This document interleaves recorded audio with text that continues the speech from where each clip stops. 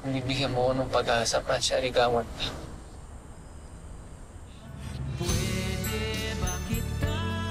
Ano ba kitang ligawan?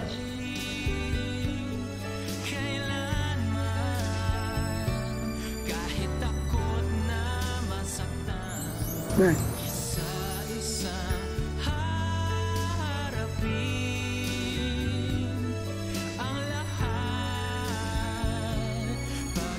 ko alam sasabihin ko. Kahit ang hindi ko lang sasabihin ko. Hindi ko lang sasabihin ko. Tama ba ito o may tama na ba?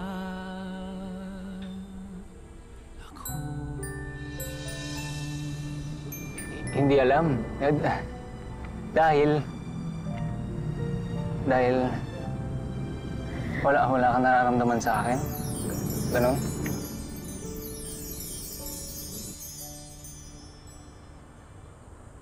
Match, alam mo.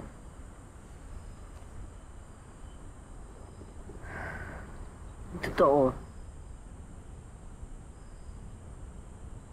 Dati. Dati gusto kita. Pero simula kasi nung pumasok ako ng restaurant, parang nagbago yung focus ko. Yung pangarap ko. Yun lang yung lagi ko iniisip.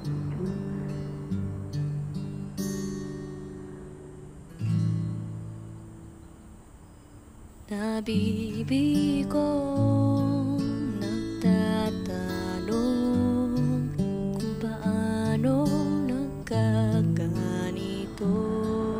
Sorry. Eh, umuuwan ka pala. Hindi mo lang sinabi sa akin, ha? Sana man lang tinext mo ako.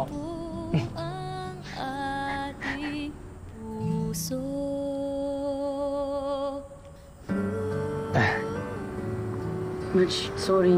Ayoko ito nakikita ang ganyan. Gusto eh. Ba? Hindi ko alam ano sasabihin ko para hindi kita masaktan.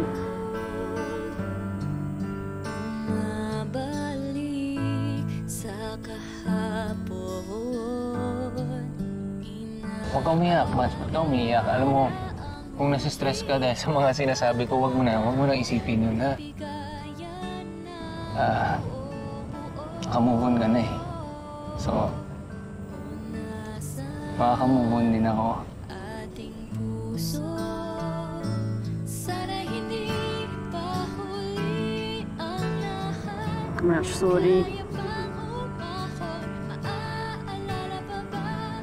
Uy, Di Hmm. mahalaga ka sa akin, di ba? Alam mo yun.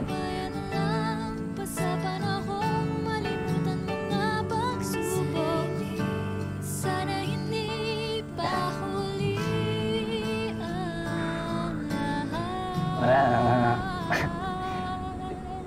Hindi ko alam kung ano nang sasabihin ko. Ah, medyo eh, nasyak ako pero... Ah...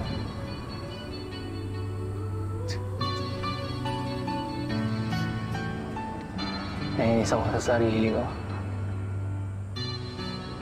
Sana yung mga oras ko kina Candy, sa mga naging ex-girlfriend ko dati, sana lahat yun nabigay ko na lang sa'yo. Lahat ng oras na yun.